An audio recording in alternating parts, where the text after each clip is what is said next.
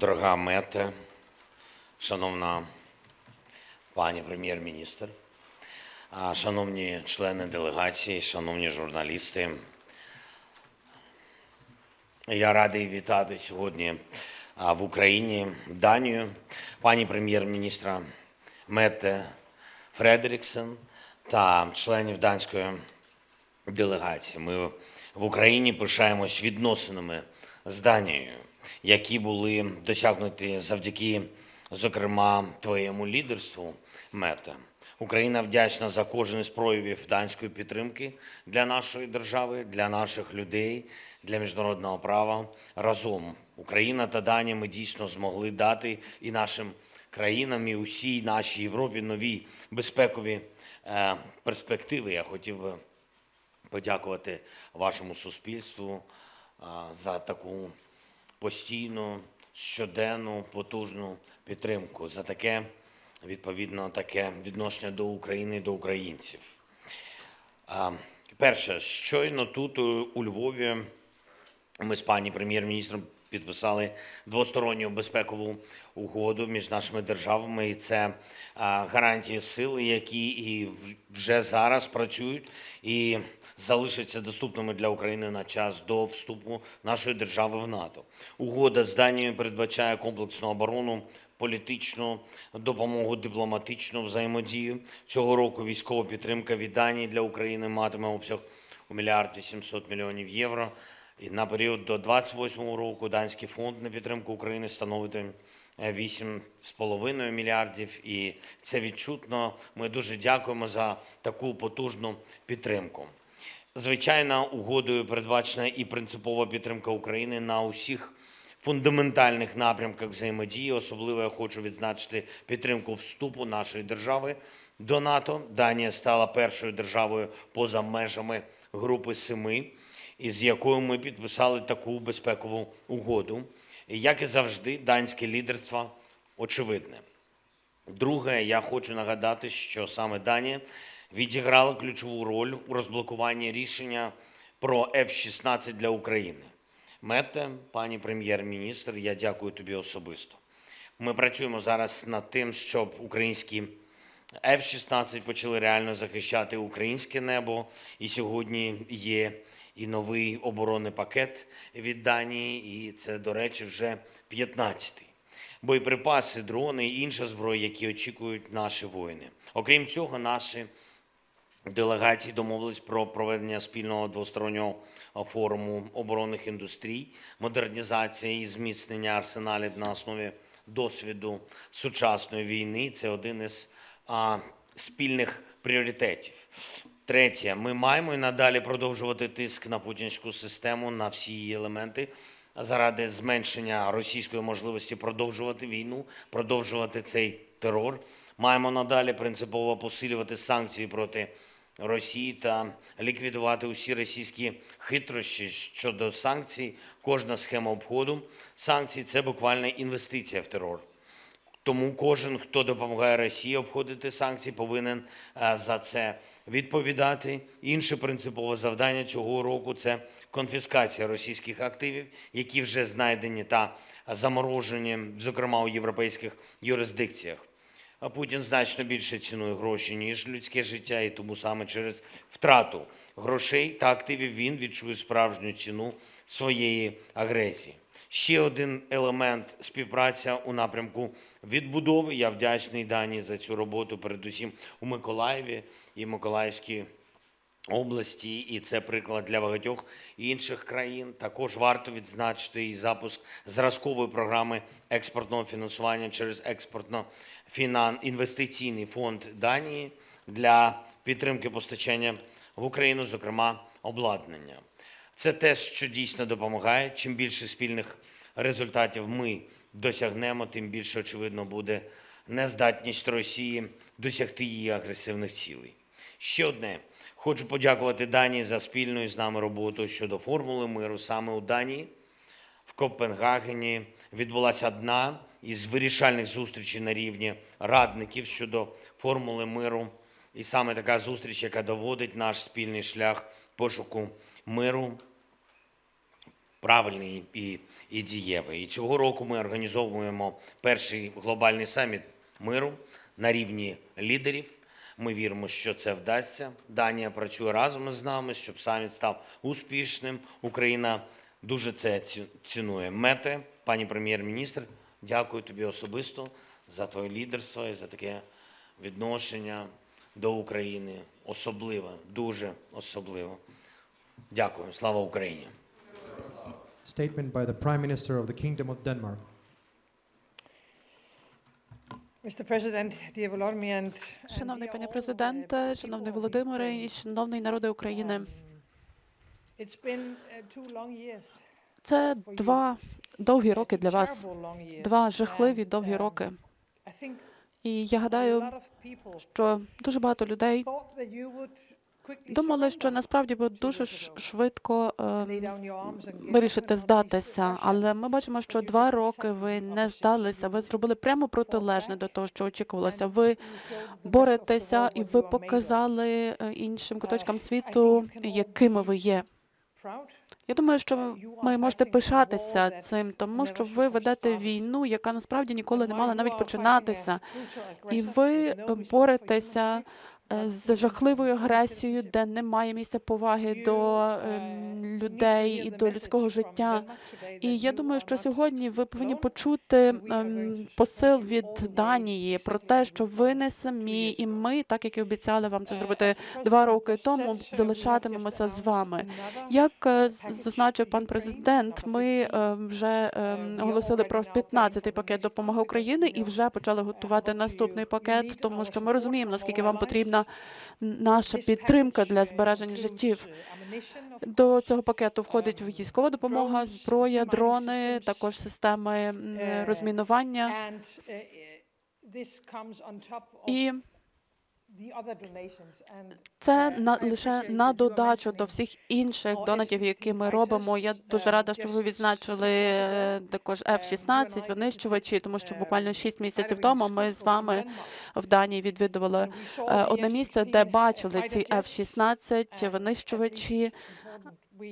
І ми Поспілкувалися з вашими пілотами, з нашими пілотами, де проводяться тренування. Ми пообіцяли, що винищувачі F-16 ми надамо Україні разом з Нідерландами та Сполученими Штатами, тому що ми розуміємо, що вам вони абсолютно необхідні, якщо ви маєте відстояти свої терени і ем, перебороти Росію. І сьогодні ми дали ще одне важливе зобов'язання Україні. Ми перша зі скандинавських країн, які підписали угоду про співробітництво з Україною на 10-річний період в сфері безпеки, який передбачає е, у яке передбачає у довгострокову співпрацю між Данією та Україною.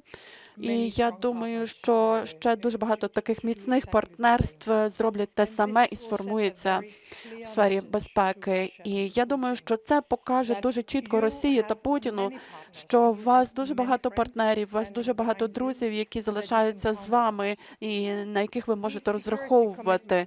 Ці безпекові е, зобов'язання є абсолютною необхідністю. І Європа та інші міжнародні партнери повинні взяти на себе ці зобов'язання і виконати свої об- обіцянки. Для мене е, це означає, що в першу чергу ми маємо надавати військову допомогу для того, щоб е, солдати отримували цю зброю, боєприпаси, яка їм вкрай необхідна. Ми е, власне також працюємо над виробництвом боєприпасів зброї, і тут і в Україні ми відкрили нові виробничі потужності в цьому напрямку, тому що ми маємо співпрацювати однозначно для того, щоб захищатися і відбивати ворога. І я хочу послати Україні дуже важливе повідомлення. Нам потрібна сильна об'єднана Європа і е, сильний об'єднаний трансатлантичний альянс. І я думаю, що всі ми маємо показати, що ми можемо знову стати разом, так як колись це робили.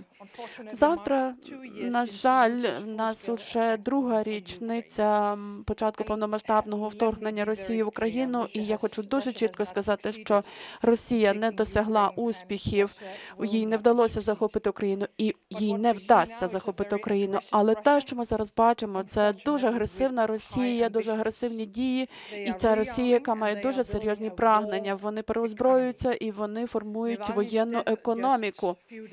Буквально кілька днів тому ми всі побачили справжнє обличчя Путіна і російського режиму. Тому союзники і партнери повинні діяти. Ми повинні е, давати більше і забезпечувати ті зобов'язання, які дали. Тому що ви не можете виграти війну лише на основі слів. Мають бути дії, які стоять за цим. І я хочу сказати народу України, що ми в інших країнах Європи чітко розуміємо, що ваша боротьба це наша боротьба. Це боротьба Європи. І від імені Данії я хотіла би вас запевнити в тому, що ми будемо продовжувати надавати вам підтримку, скільки це буде потрібно. Шановний пане президенте, ми підписали угоду з Данією, і останнім часом ви також підписали угоди з Францією, з Німеччиною. Е, Зброя надходила з Данії, з Швеції. Але якщо вас не буде від значного масштабного пакету від США, чи допоможе ця зброя вам тут зараз, коли ми бачимо такий тиск з боку Росії? І, зокрема, якщо ми говоримо про артилерійські снаряди, е, 15 тисяч, ну їх можна витратити буквально за тиждень чи навіть за два дні. То чи можете ви нам чітко сказати, ем, що дадуть Україні, що змінюють ситуації ці донати? Ця допомога. Дуже дякую. По-перше, ми говоримо сьогодні про і, і вел- вел- велика наша вдячність за 15-й пакет. Ми не розглядаємо тільки один пакет від Данії. Це велика допомога з початку перших днів атаки на Україну. І це дуже серйозна допомога. І гарантії безпеки вони не вирішать. І один договір не може зупинити Путіна. Але єдність е, союзників, єдність партнерів, єдність таких безпекових гарантій точно допоможе, посилить нас. Ну, принаймні, точно не дадуть захопити Україну і зруйнувати нас, якщо всі країни і будуть так само такими самими відповідальними, як Данія і ті наші партнери, з ким ми вже підписали гарантії безпеки. Гарантії безпеки ми не розглядаємо як альтернатива допомоги Сполучених Штатів або інших партнерів. Це гарантії безпеки, це важливі документи з виваженою позицією і тієї чи іншої держави, які нам дуже потрібні на шляху до НАТО. І ми говоримо, що це буде посилювати Україну до тих пір, поки ми не будемо в альянсі. Це говорить, що і зараз, і після е, війни. Що стосується допомоги Сполучених Штатів, ми вважаємо їх стратегічним нашим партнером і лідером світової допомоги, і тому ми розраховуємо, що ми разом з нашими партнерами зробимо все, щоб рішення Сполучених Штатів було позитивним. Я більш впевнений, що так воно і буде. Ну, питання виборчого процесу Сполучених Штатів це виклики. На жаль, у кожній країні, окрім України, є і свої, а вже ж зрозуміло, внутрішні пріоритети. Дуже хочеться, щоб Україна була з одним із пріоритетних питань для Сполучених Штатів. Тому будемо працювати з Конгресом Сполучених Штатів, щоб отримати позитивне, позитивне, позитивне рішення. Далі телеканал Інтер, будь ласка. Sorry? And what? From Denmark, Ми власне говоримо про те, що було би потрібно. Я перепрошую. Ми говоримо про 15 тисяч е, тих снарядів, які нам потрібно, про які ми запитуємо. Так, але це запитання не до Данії, що нам потрібно. Це швидше запитання до всіх наших партнерів. В першу чергу нам потрібні системи ППО для того, щоб захистити наших громадян. Це надзвичайно важливо, і це той посил, який я повідомляю не лише сьогодні. Я постійно повторюю про це.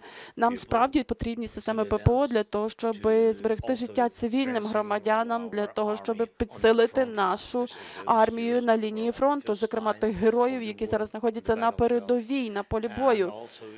І Також це допоможе нам е, закрити певні прогалини в економічній сфері, тому що більше людей буде повертатися, якщо в нас оцей е, щит е, у вигляді повітряної оборони буде працювати краще і захистить повну територію. Але власне ми говоримо про це не вперше і не востаннє. І як зазначила пані прем'єр-міністр, ми готуємо е, новий новий пакет уже. І найважливіше це розблокувати сформувати ем, захист у повітрі і також забезпечити цей захист е, через винищувачі F-16. Важливо те, що всі наші рішення мають прийматися вчасно. Ось це має бути нашим пріоритетом, тому що в нас багато рішень приймалося, і за останній рік під час нашого контрнаступу в нас також ем, було зроблено дуже багато важливих речей, але просто не все пішло так, як мало бути. Не всі поставки були здійснено вчасно, і не всі поставки були здійснені в необхідних розмірах, в обіцяних розмірах. Вітаю у Львові. Вітаю. Е, У мене питання спочатку до пана президента. Е, Скажіть, будь ласка, ситуація з приводу Польщі та України на кордоні. Е, Ви говорили про робочу групу на кордоні до 24 лютого. Дональд Туск вчора сказав, що ця ситуація можливо буде зустріч пізніше, у березні. Як зараз? Чи буде ця зустріч? Чи буде все-таки у березні? Яка зараз буде ситуація? Чи будуть якісь певні зустрічі? Наш прем'єр-міністр разом з відповідними міністрами, які працюють над питанням експорту, імпорту, товарообігу між тими чи іншими державами, які відповідають за логістику, за інфраструктуру, за агропромисловий комплекс, керівники прикордонної служби. Ця група, на чолі з прем'єр-міністром, сьогодні буде на кордоні з Польщею. Чи будуть польські колеги, це їх особисте рішення.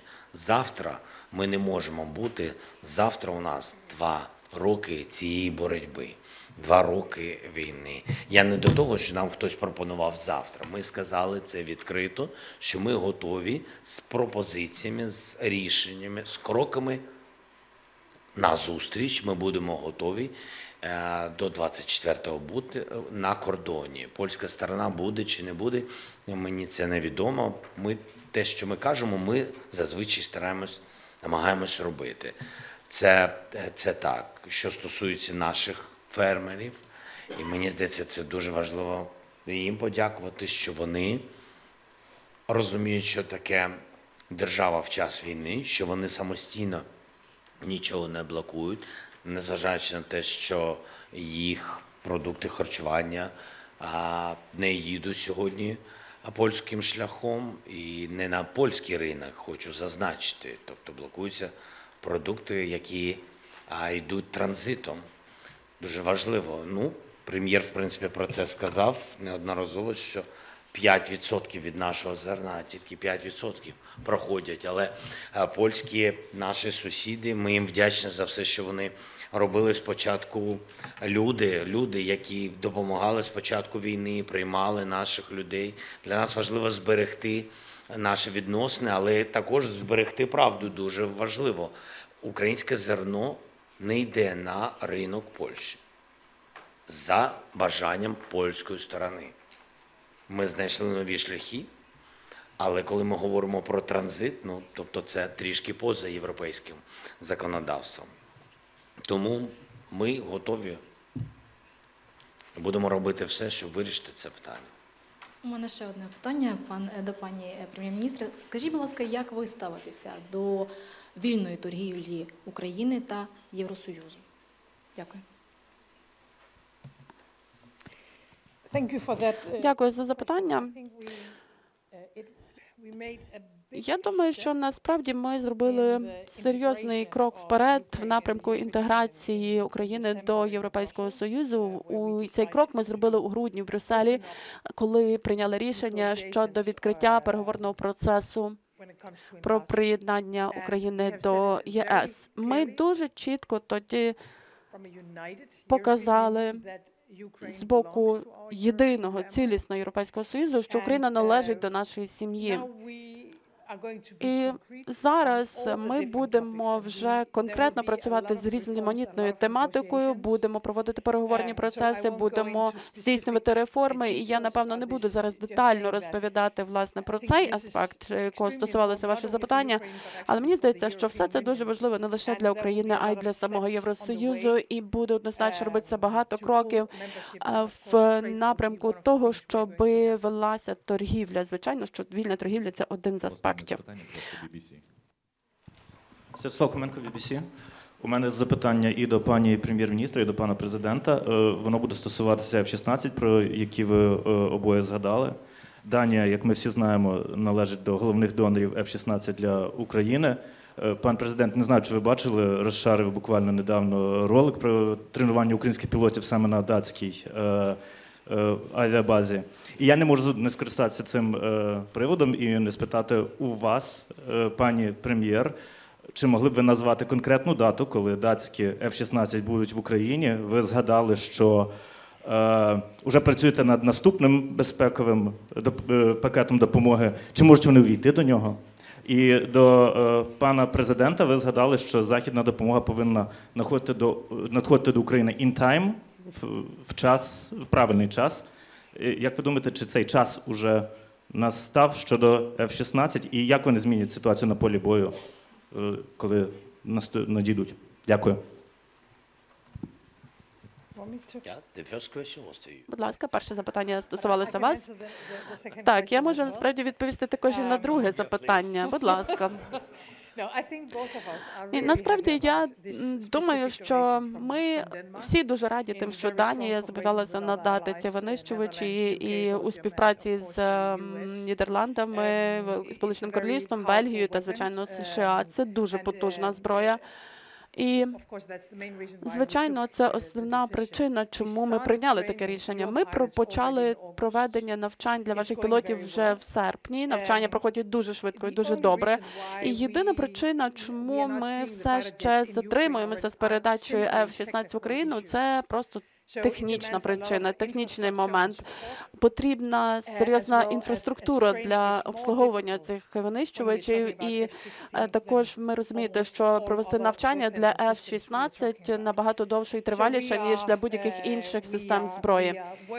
Чи uh, літаків. І відповідно ми дуже наполегливо працюємо в цьому аспекті, і я е, F-16s in сподіваюся, що нам вдасться вже найближчим часом ще до літа побачити would really F-16 в повітрі. Повітряному просторі України. uh, І я думаю, що зважаючи на всі ті зусилля, яких ми докладаємо, і на е, чудову співпрацю між нами та союзниками, ми будемо I can- I готові це забезпечити до літа. Але я ще раз е, наголошую на тому, що тут йдеться лише про практичні е, технічні моменти, які потрібно вирішити, і які поки що потребують певного вдосконалення, і власне через які виникла така прогалина в часі між серпнем і тим моментом, коли ми побачимо F-16 в повітряному просторі України. Першу партію F-16 ми отримуємо в цьому році. Я не можу, пані прем'єр-міністр вам сказала, що частину цієї партії, напевно, ми можемо отримати а, якісь місяці найближчі, літні. Та? Не буду говорити вам конкретно. Ми отримуємо частину наших домовленостей в цьому році. Це факт, тому що буде готова під, під ці, цю кількість літаків, будуть готові відповідні а, пілоти і команди, і технічні команди, також окрім екіпажів, технічні команди, е, інфраструктурні е, речі повинні бути також підготовлені. Е, Я чесно скажу, вам бачив робочий план на ставці щодо отримання літаків. Він розбитий на там, скажімо так, на деякі півріччя. Е, Не можу вам більше сказати конкретики. Прошу вибачення.